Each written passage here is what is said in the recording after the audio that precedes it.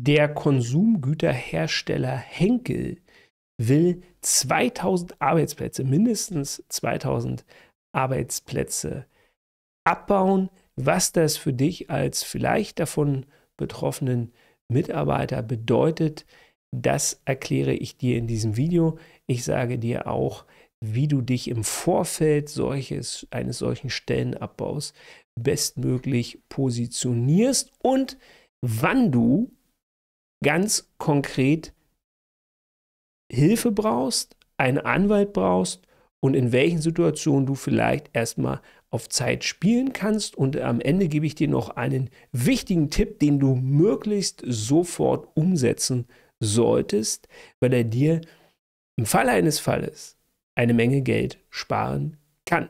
Aber zunächst einmal, was ist passiert? Der Konsumgüterhersteller Henkel will im Zuge eines Konzernumbaus mindestens 2000 Arbeitsplätze abbauen, berichtet das ähm, Handelsblatt im Internet jedenfalls. Ähm, und im ersten Schritt will der Konzern bis Ende 2023 rund 2000 Stellen vor allem in Vertrieb und Verwaltung streichen. Also das im ersten Schritt. Ja. Es ist noch nicht so richtig klar, wo das passiert, wie viele Arbeitsplätze konkret in Deutschland wegfallen, aber der äh, Großteil der Henkelverwaltung sitzt in der Düsseldorfer Zentrale und man kann jetzt nur vermuten, dass hier möglicherweise viele Mitarbeiter betroffen sind. Und im zweiten Schritt soll es dann auch in die Bereiche Produktion äh, gehen, um dort dann eben ähm, die Kosten zu drücken. Ganz konkretes wurde dazu noch nicht gesagt, aber allgemein ist das immer äh, eine Situation, die für Mitarbeiter natürlich sehr beunruhigend ist, auch wenn hier der Chef Knobel zitiert wird, dass es das äh, klare Ziel ist, betriebsbedingte Kündigungen auszuschließen. Das ist ja erstmal ein löbliches Ziel, aber sowas wird im Vorfeld eigentlich nahezu immer erzählt. In der Praxis äh, sieht es dann aber oft anders aus. Erstmal Kündigung ausschließen und Stellenabbau bedeutet meistens das Verhandeln von Aufhebungsverträgen. Aber man darf natürlich auch nicht vergessen, wenn der Arbeitgeber sagt, er will betriebsbedingte Kündigung äh, ausschließen, dann sind davon ja nicht verhaltensbedingte und personenbedingte, also zum Beispiel krankheitsbedingte äh, Kündigung betroffen. Das bedeutet, in diesen Situationen gucken Arbeitgeber natürlich immer besonders, wenn sie irgendeine Gelegenheit finden, eine Kündigungsoption finden. Und deswegen ist erste Grundregel für Arbeitnehmer in solchen Situationen immer nicht angreifbar werden.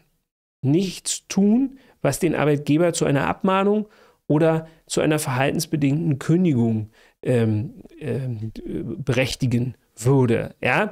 Ähm, keine Fehler, ich will nicht sagen Dienst nach Vorschrift, aber im Zweifel lieber einen Gang runterschalten, kein riskantes Verhalten, natürlich auch nicht unnötig mit irgendjemandem in Streik geraten, sich nicht unnötig selbst auf die Abschutzliste setzen. Das macht man in der Regel äh, automatisch.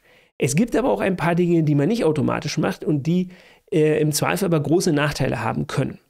Ich will ja jetzt auch hier Henkel nichts unterstellen, aber ich habe es in der Vergangenheit in äh, großen Konzernen immer wieder erlebt, dass im Vorfeld von Kündigungen schon Umbaumaßnahmen stattfanden. Also ich meine jetzt nicht die Umbaumaßnahmen als Baumaßnahmen, sondern die, den Umbau in der Personalstruktur.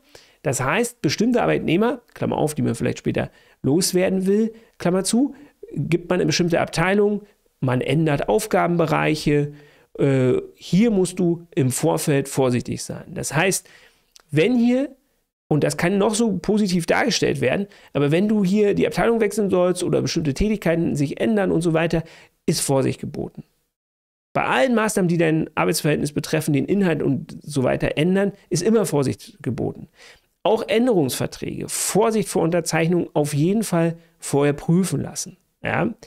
Ähm, der Betriebsrat in solchen Fällen wird ja involviert. In der Regel hat man, wird ein Sozialplan gemacht. Äh, das ist erstmal gut, dann hat man immer so eine gewisse Basis, auch bei den Abfindungsverhandlungen. Aber solange der nicht da ist, musst du natürlich immer dran denken, wenn du vorher eine Vereinbarung machst und dir da nicht entsprechende Rechte vorbehältst, dann kann das sein, dass du hinterher traurig bist, ähm, wenn die, die nach dir gehen, dann mit viel mehr gehen. Ja, das ist so ein Problem. Es kann natürlich in Extremfällen auch mal anders sein, äh, wenn jetzt das Unternehmen nicht so gut geht, aber davon würde ich jetzt bei Henke im Moment zumindest nach dem, was man hier hört, äh, nicht ausgehen, sodass es da in der Regel schon so ist, dass da wer, wer da energischer zockt, der kriegt am Ende des Tages auch mehr raus.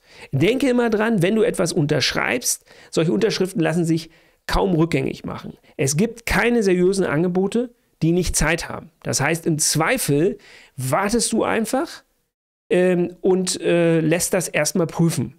Wenn der Arbeitgeber dir Angebote auf dem Flur macht, dann bittest du ihn, dir das schriftlich zu machen.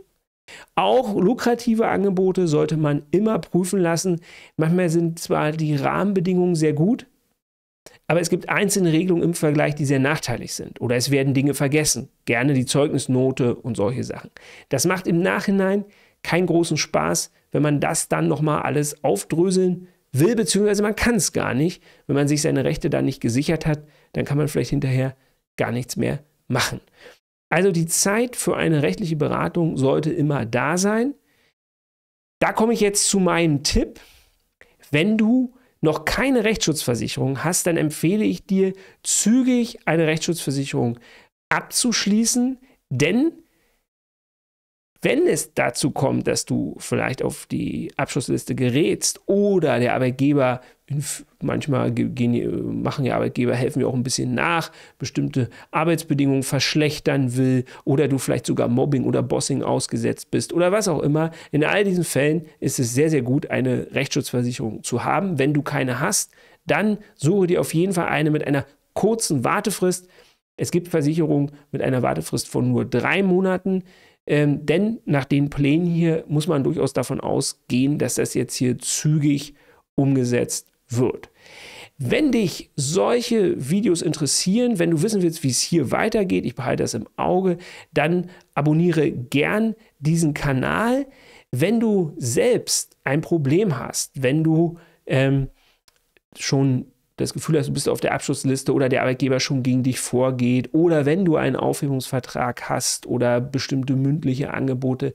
In all diesen Fällen kannst du unser Angebot einer kostenlosen telefonischen Erstberatung nutzen. Du kannst unter dieser Nummer anrufen, einen Termin vereinbaren oder unten in der Beschreibung findest du einen Link und da kannst du eine schriftliche, also eine Anfrage per E-Mail starten.